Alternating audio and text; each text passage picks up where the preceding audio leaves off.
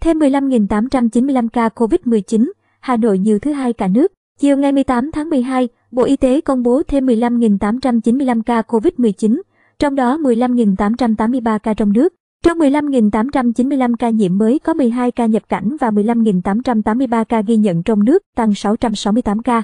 So với ngày trước đó, tại 60 tỉnh, thành phố có 10.493 ca trong cộng đồng.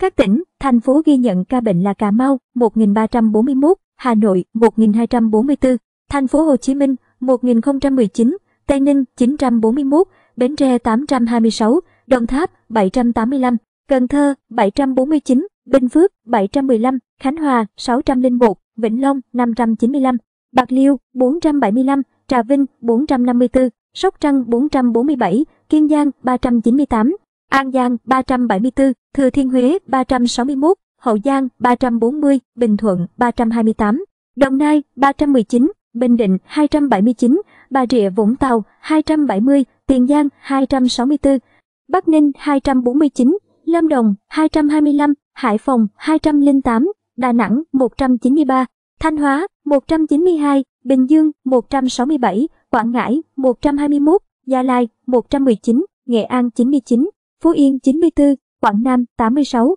Vĩnh Phúc 86, Đắk Nông 72, Thái Bình 70, Nam Định 67, Quảng Ninh 63, Hưng Yên 63, Hà Giang 59, Hòa Bình 57, Long An 57, Quảng Bình 47, Sơn La 44, Hải Dương 43, Ninh Thuận 40, Phú Thọ 36, Quảng Trị 34, Thái Nguyên 28, Ninh Bình 25, Hà Nam 24, Bắc Giang 23, Con Tum 20, Tuyên Quang 16, Lào Cai 13, Yên Bái 5, Hà Tĩnh 5, Cao Bằng 4, Lai Châu 2, Điện Biên 2. Như vậy, sau 24 giờ, Bến Tre giảm 420 ca, Bình Định giảm 106, Bình Phước giảm 102. Ở chiều ngược lại, Hà Nội tăng 709 ca, Cà Mau tăng 270, Thừa Thiên Huế tăng 222. Trung bình số ca nhiễm mới trong nước ghi nhận 7 ngày qua là 15.294 ca trên ngày. Ngày 18 tháng 12, cả nước có 1.645 bệnh nhân được công bố khỏi bệnh.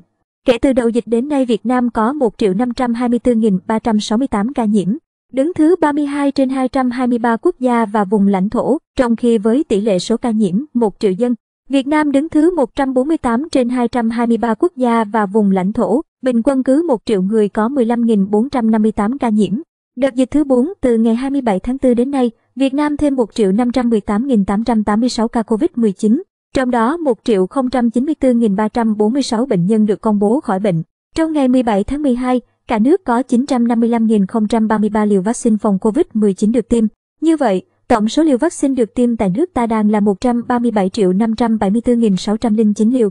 Trong đó tiêm mũi 1 là 75.631.255 liều, tiêm mũi 2 là 60.799.084 liều, tiêm mũi 3, tiêm bổ sung, tiêm nhắc và mũi 3 của vaccine Abdala là 1.144.270 liều. Các bạn nhớ đăng ký kênh và bật chuông thông báo để nhận được video mới sớm nhất nhé.